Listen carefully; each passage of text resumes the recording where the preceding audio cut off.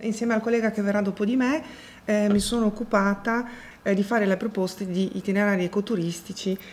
Ehm, diciamo che uno degli obiettivi è stato quello di cercare di coinvolgere in maniera diretta mm, la popolazione e qui frequenta queste zone, sia dal punto di vista turistico ma non solo, ehm, alla conoscenza di questi ambienti per poterli quindi apprezzare e vivere in maniera sostenibile. Noi abbiamo ehm, appunto studiato eh, nuove proposte e nuove forme di itinerari ecoturistici dove guidare appunto alla scoperta eh, di questi ambienti e fornire anche delle informazioni per eh, riuscire a capire meglio quello che c'è direttamente sul territorio. Eh, non è stato un compito facile perché ci troviamo comunque in un territorio eh, che va a nord da, da, da, da, Goro fino a sud alla foce del Rubicone, ehm, molto frastagliato, molto ricco, eh, è un territorio che comunque già propone eh, molte, molti itinerari. Eh, quindi noi siamo partiti pre, diciamo in prima istanza facendo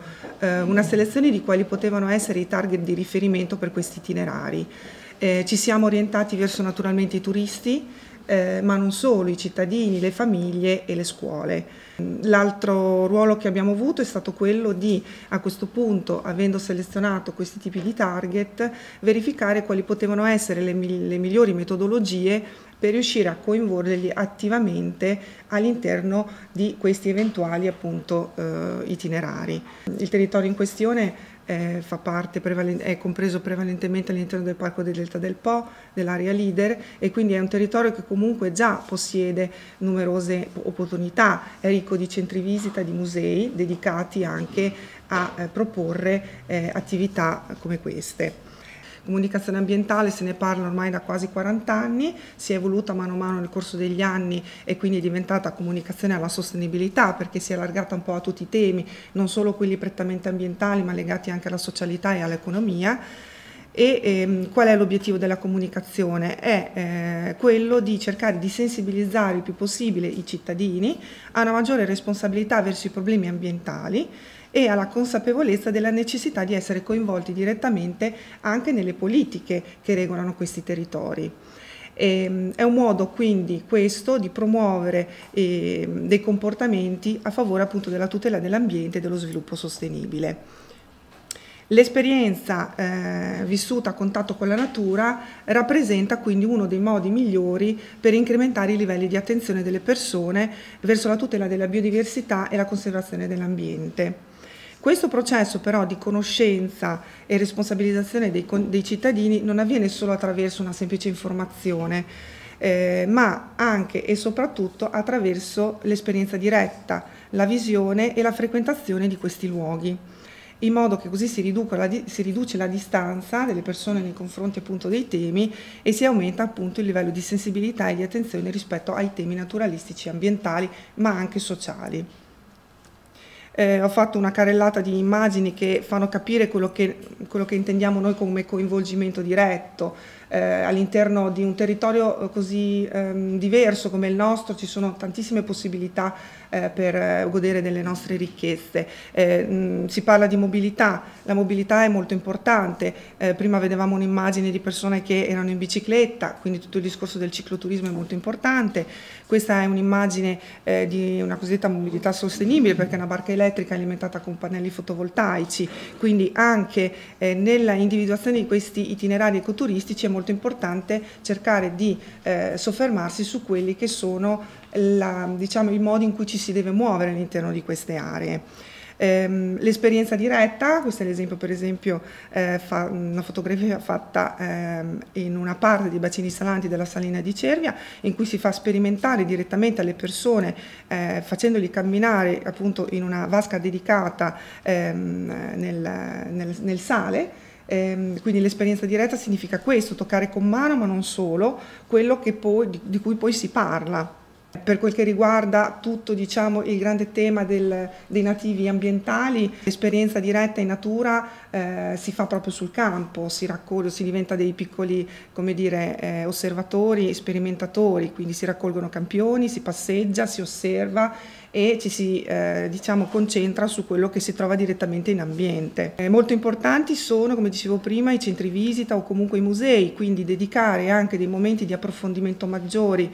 con degli esperti nel campo, eh, magari anche prima di un'escursione come abbiamo fatto noi e abbiamo provato a testare eh, durante questo, questo progetto, eh, ci è sembrato molto utile ed è stato molto apprezzato. Naturalmente eh, un percorso ecoturistico non deve essere per forza eh, fatto eh, attraverso un'organizzazione o comunque attraverso delle guide eh, ma può essere anche liberamente fruibile. Quindi cosa è importante che sia presente? Che ci sia una cartellonistica o comunque che sia a disposizione delle persone che entrano in questi luoghi quelli in cui si può naturalmente accedere liberamente, delle informazioni che gli aiutano ehm, appunto a capire bene di che ambiente si sta parlando, ma soprattutto quali sono le regole da tenere. Ma visto che siamo anche nel tempo delle, nuove tecnologie, non solo la cartellonistica, ci sono anche sistemi eh, di georeferenziazione in cui eventualmente con il telefonino quando uno si trova in una zona protetta magari gli viene inviato anche che ne so, un messaggio in cui gli viene detto tu sei qui o comunque ci sono i QR code che si possono trovare per avere maggiori informazioni. Quindi le metodologie, i mezzi ce ne sono tantissimi, basta saperli selezionare adeguatamente e poi sfruttare al meglio.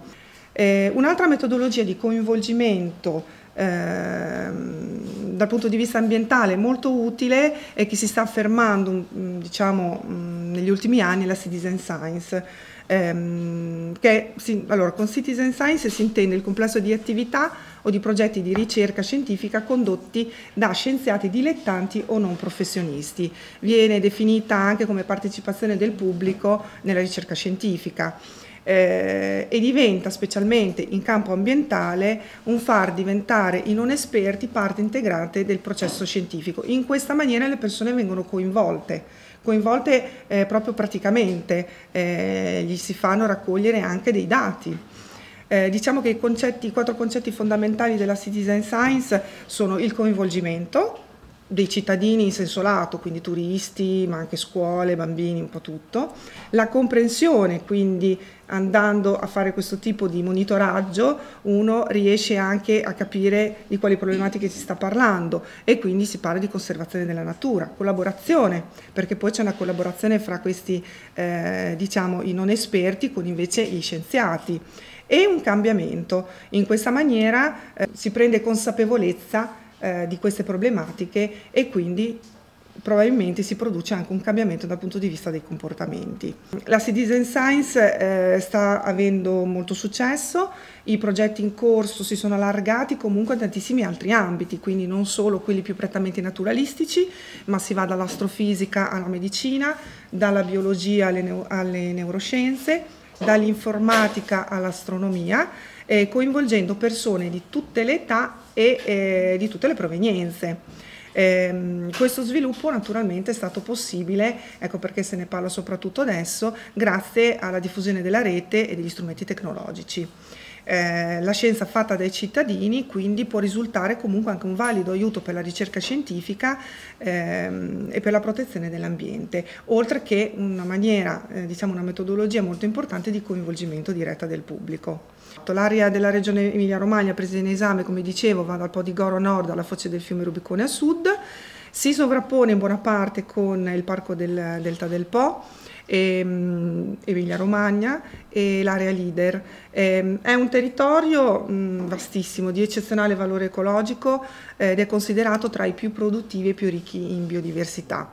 Questo perché? Perché si tratta di un eh, paesaggio incredibilmente frastagliato, molto diverso, in cui però eh, si compenetrano anche delle eccellenze artistiche e storiche e grandi zone antropizzate e numerose attività produttive. Il Parco del regionale del Delta del Po, come dal punto di vista naturalistico, possiede la più vasta estensione di zone umide protette d'Italia, è un'area di eccezionale valore ecologico, conserva importantissimi resti del suo passato e numerose testimonianze d'arte e di cultura agricoltura, eh, diciamo che è un territorio che è abitato dal tempo degli Etruschi, poi ci sono stati i Romani, insomma via via troviamo tantissimi diciamo, monumenti che ci ricordano i bizantini a Ravenna, Ferrara, eh, abbiamo le due grandi città Ferrara e Ravenna che sono state riconosciute eh, patrimonio mondiale dell'umanità dall'UNESCO e poi ci sono tantissimi monumenti, dovunque si vada, anche mentre si è in un'area naturalistica si può osservare un faro o si può vedere che ne so una chiusa o mm,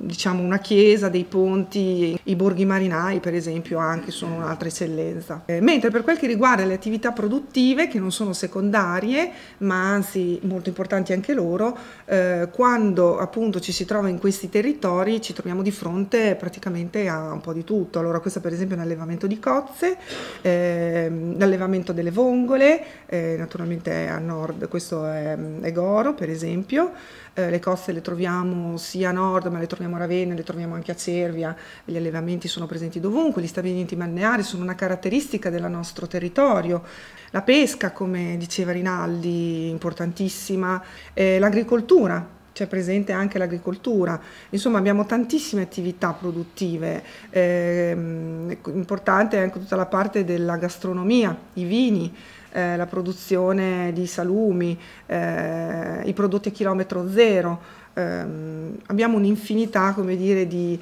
eh, di, opportunità per le persone che comunque si trovano in questi territori. Abbiamo il porto di Ravenna per esempio che sia commerciale ma anche marittimo, quindi turistico, in cui in, arrivano anche ehm, delle grandi navi con turisti che vengono anche da, da tutto il mondo.